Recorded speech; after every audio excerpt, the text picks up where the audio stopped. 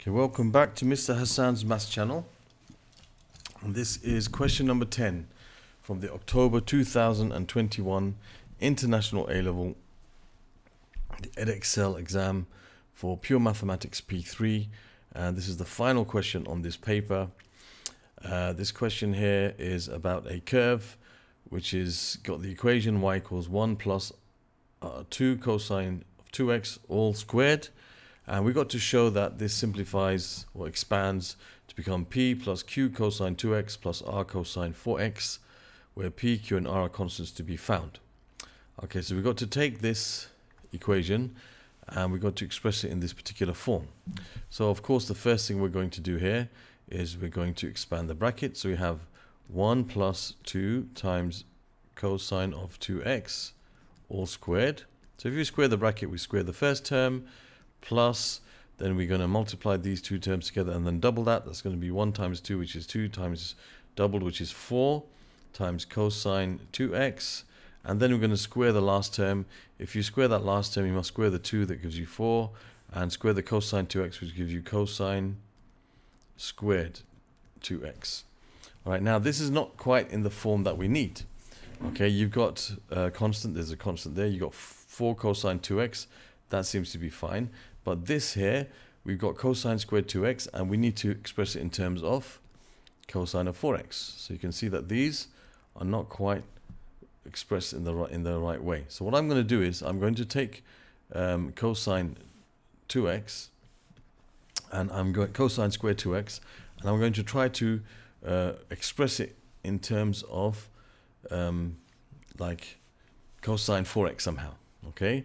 Now I can see that there's something like this angle is double that angle. So we can kind of guess it's got something to do with the double angle formula. So I'm going to take I'll write cosine squared 2x and I will I'll write it first as let me let me first of all think of it in terms of um, the identity we know about cosine 2a cosine 2a okay is is equal to um, if you remember the identities it's 2 cosine squared a minus 1 okay and this is based on this is one that's not in our formula book but it's based upon something in the formula book which is cosine A plus B is equal to cosine A times cosine B minus sine A times sine B. It's based on that um, identity which is found in the formula book. So if you call these both A, cosine 2A would be cosine A plus A, then this is going to become cosine A times cosine A, which is cosine squared A, and there will be sine A times sine A, which will be minus sine squared A. That's and then this formula, if I want to express this with in terms of cosine squared a, then I can change the sine squared a to 1 minus cosine squared a using the identity sine squared a plus cosine squared a equals 1. So this gives me cosine squared a minus 1 plus cosine squared a, which is 2 cosine squared a minus 1. Okay, so that's where this identity comes from. You should know this, but if you forget it, it's quite easy to um, deduce it given this formula in the formula book. All right, so cosine 2a equals 2 cosine squared a minus 1. So what I'm going to do is I'm going to apply that to this. So I'm going to make the cosine squared a the subject of this. So I'm going to add 1 to both sides. So I'll have cosine 2a plus 1. Okay, and then I'm going to divide by 2. So cosine 2a plus 1 is equal to cosine squared a. All right, so basically what I've got is I've got cosine squared a equals cosine 2a plus 1 over 2. All right, now if I compare these, it's like the a is the 2x. This is going to be 2a, which is going to become 4x. You can double the angle. So this will become the same as cosine instead of 2x, I'll write 4x because I've got to double whatever's here got doubled over there. Then I'll have plus 1 over 2. So I've now shown that cosine squared 2x is the same as cosine 4x plus 1 over 2. So now what I can do is I can replace the cosine squared x with all of this. So I can say that this is equal to, okay, this is equal to, this is like a side point that I've just, it's like a box that I've put in, in the middle of the thing, but I just I'll just box it away like this. So I'm going to continue from there, And I'm, I can say that now this is equal to basically 1 plus 4 cosine 2x. And now instead of, and then I've got 4 plus 4 times. And now instead of cosine, let's get rid of this line. Instead of cosine squared 2x, I can replace cosine squared 2x with all of this. So it's 4 times, and I've got cosine 4x plus 1 over 2. So now let's see if that gives us what we need. So you have 1 plus 4 times cosine of 2x. Now the 2 and the 4 cancel, give you 2. That we're going to be plus 2 cosine 4x and 2 times 1 is 2. So in the end, we end up with 1 plus 2 cosine 2x all squared is the same as 1 plus 2 is 3 plus 4 cosine 2x plus 2 cosine 4x. And I think that's in the form that they need. p plus q cosine 2x plus r cosine 4x. Constant, then something cosine 2x and something cosine 4x. So you got p, this is your p, and this is your q, and this is your r. So we can say P equals 3, Q equals 4, and R equals 2. And there we have expressed it in this form, and that's the end of question 10 part A. Two marks for that. It's like a, a bit of work for two marks to be honest, but um, anyway, that's fine. Okay, you have to use this identity basically. Um, you know, we're using this identity, but we have to recognize basically that, um, you know, we have here 4x is double of 2x. So we're going to use a double angle formula. 4x is double 2x. So we're going to think in terms of double angle formula. Okay. All right. Now that's question number 10a. Now for 10b. 10b says uh, the curve touches the positive x axis for the second time when x equals a. So it, it turns over there and then it turns over there again. When x equals a as shown in figure 4, the regions bounded by the curve, the y-axis and the x-axis up to x equals a are shown shaded in figure 4. Find using algebraic integration and making your method clear the exact total area of the shaded regions. Write your answer in simplest form. Okay, so we've got to find where this curve touches the x-axis, okay, the second time.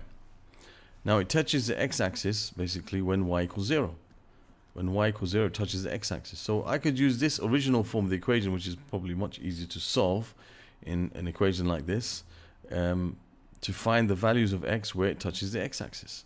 So let's do that. Let's put 1 plus 2 cosine 2x squared equals 0, because I need to find the value of a, and then I can integrate the, this expression with respect to x.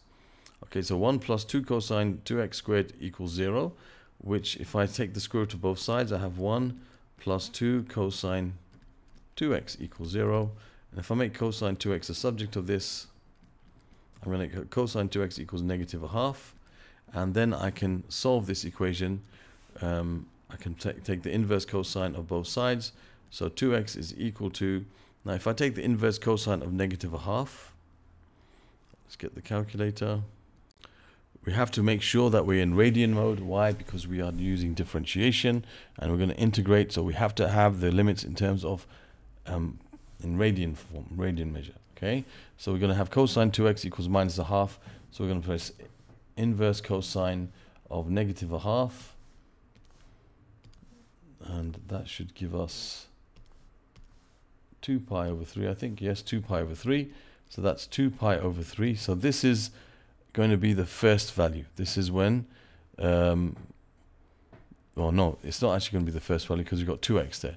But that's going to be the first solution. We're looking for the second solution, and then we're going to divide them by 2. So this is going to actually be pi over 3.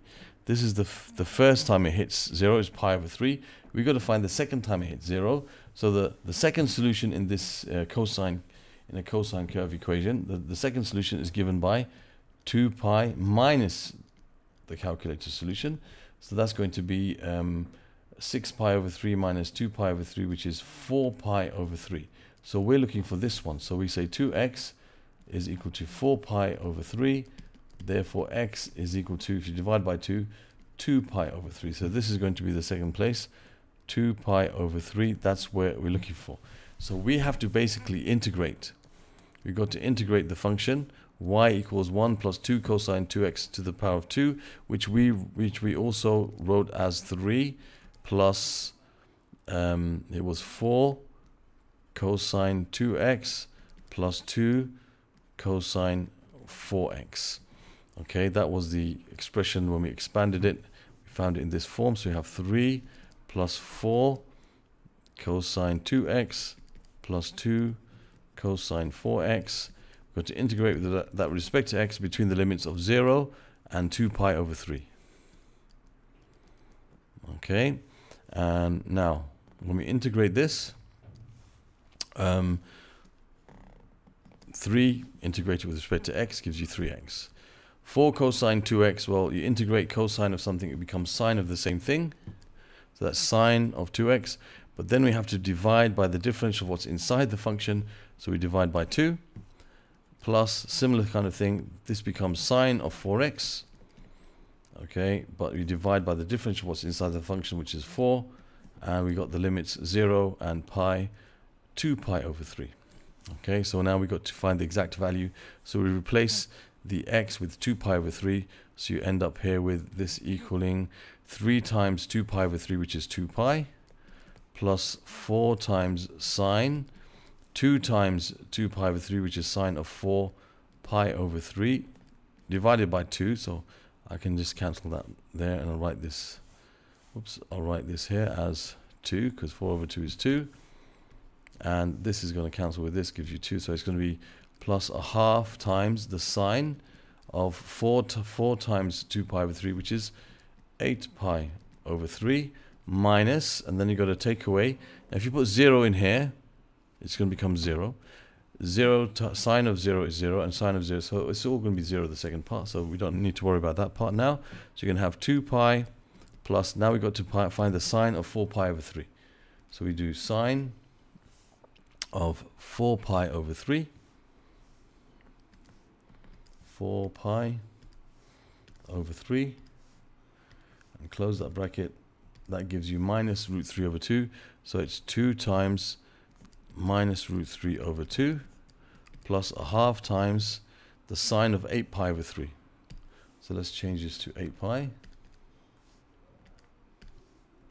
That gives you root 3 over 2 so that's going to be root 3 over 2 and so that gives you 2 pi this gives you minus root 3 and this gives you a quarter plus root 3 over 4 so we end up with that's going to be 2 pi that's going to be minus 3 quarters that's 1 minus 1 plus a quarter it's minus 3 quarters of root 3 and there's your exact value and that's the the uh, area that's square units you could say find the exact total area of the shaded regions.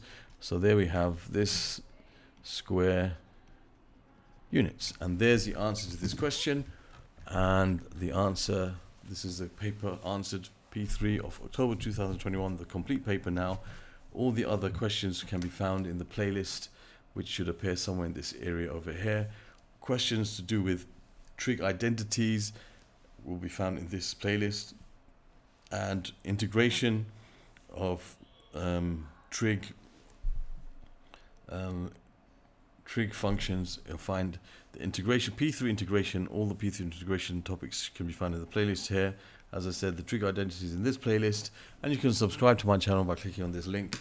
Um, thank you for watching. I hope this was helpful, and you'll find the other papers from P3 answered also. Um, if you check the uh, description of the video, you'll see my links to P3, P4, M1, S1, P1, P2, and also some IGCSE, um, University of Cambridge CIE paper uh, papers that I've answered. So uh, you can, you know, free to watch them. Uh, thank you and see you soon.